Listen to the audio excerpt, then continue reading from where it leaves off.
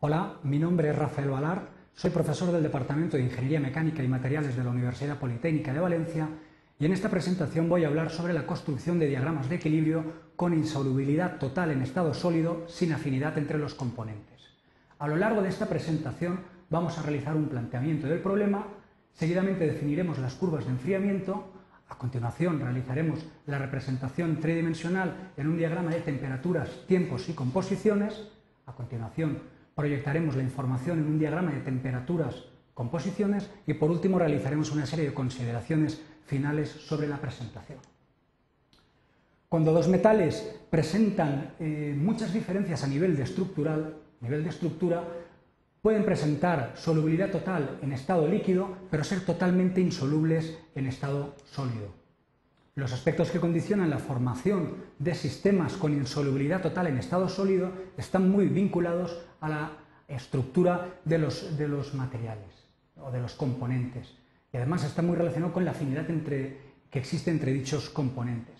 Así, cuando tienen radios atómicos muy distintos, los sistemas cristalinos son muy diferentes y además existe total ausencia de afinidad entre los componentes para formar compuestos químicos o estructuras eh, a, nivel microscópico, entonces podemos hablar de insolubilidad total en estado sólido, eh, con separación de fases y sin afinidad entre los componentes. En concreto, en este apartado vamos a eh, estudiar las curvas de enfriamiento de un sistema con insolubilidad total y vamos a ver cómo construir el diagrama a partir de la información obtenida en las curvas de enfriamiento. Veamos en primer lugar las curvas de enfriamiento que definen el sistema con insolubilidad total en estado sólido. En primer lugar, observamos la curva de enfriamiento de uno de los componentes puros. En este caso corresponde al componente puro A, 100% de A o 0% de B. Identificamos claramente el punto de inicio de la solidificación y el punto de final de solidificación. Concretamente, en un componente puro, dichos puntos coinciden al tratarse de un, de un componente puro.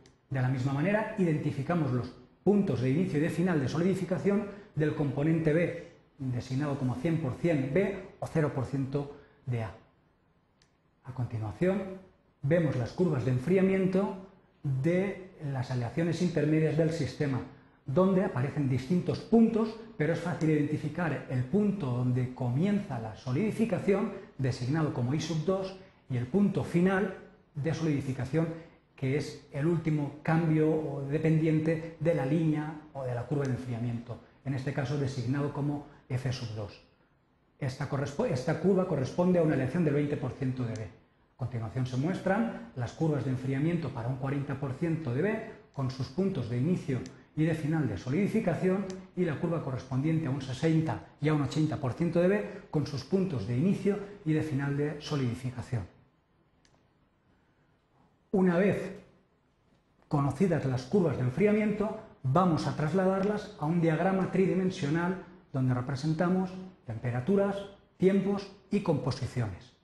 Trasladamos en primer lugar las curvas correspondientes a los componentes puros y vemos claramente los puntos de inicio y de final de solidificación como se representan en dicho diagrama tridimensional. A continuación representamos para cada una de las composiciones su curva de enfriamiento correspondiente. Eh, si unimos todos los puntos de inicio de solidificación, los puntos designados como I sub 1, I sub 2, I 3, I 4, I 5 y 6, obtenemos una línea por encima de la cual la aleación se encuentra para todas las composiciones en estado líquido. Esta es la que denominamos como línea de líquidos. De la misma manera, si unimos todos los puntos designados como F1, F2, F3, F4, F5 y F6, correspondientes a los puntos de final de solidificación, obtendremos una línea por debajo de la cual el, sistema se encuentra para todas las aleaciones en estado sólido. Esta es la que se conoce con el nombre de línea de sólidos. Por encima de la línea de líquidos, como hemos dicho anteriormente, el sistema se encuentra en estado líquido.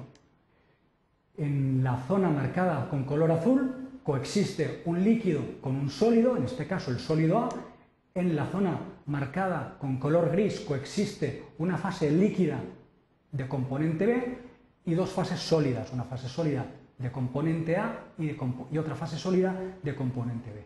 Y por debajo de la línea de Sólidos, tal como hemos dicho anteriormente, eh, en el diagrama se muestra de color eh, rojo, pues la aleación se encuentra en estado totalmente sólido, pero al existir inmiscibilidad entre los dos componentes, pues aparecen de forma individual, el sólido A y el sólido B.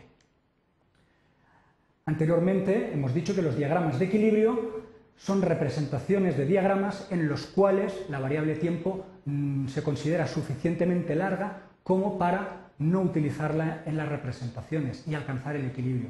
Así pues, si proyectamos los puntos correspondientes al inicio y al final de la solidificación sobre el plano de temperaturas y composiciones, obtenemos los puntos reales para la construcción del diagrama de equilibrio o diagrama de fases binario.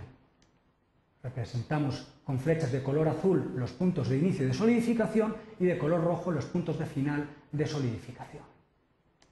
Si se unen los puntos de inicio y los puntos de final, obtenemos una proyección de la estructura tridimensional vista anteriormente sobre un plano de temperaturas y composiciones.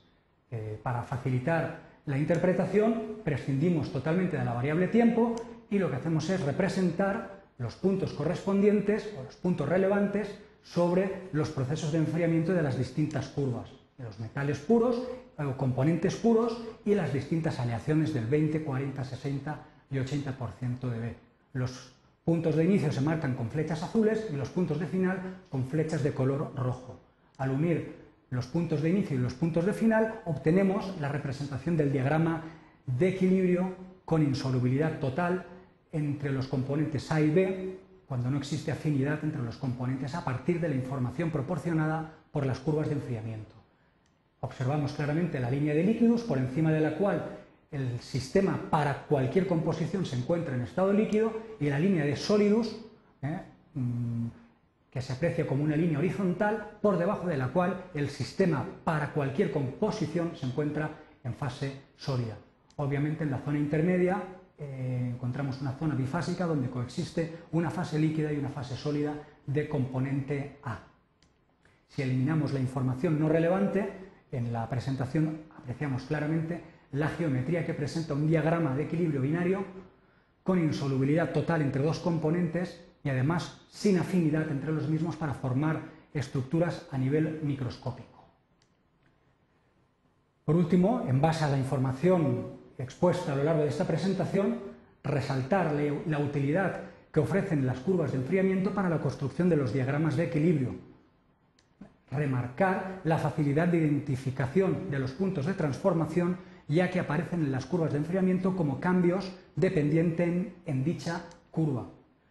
La representación tridimensional es bastante útil a nivel gráfico para apreciar o entender las transformaciones que ocurren en un diagrama con insolubilidad total, pero realmente eh, es la representación en dos dimensiones la que nos ofrece la posibilidad de identificar las fases, las líneas y las zonas características de un diagrama con insolubilidad total eh, entre los componentes sin afinidad entre los mismos. Muchas gracias por su atención.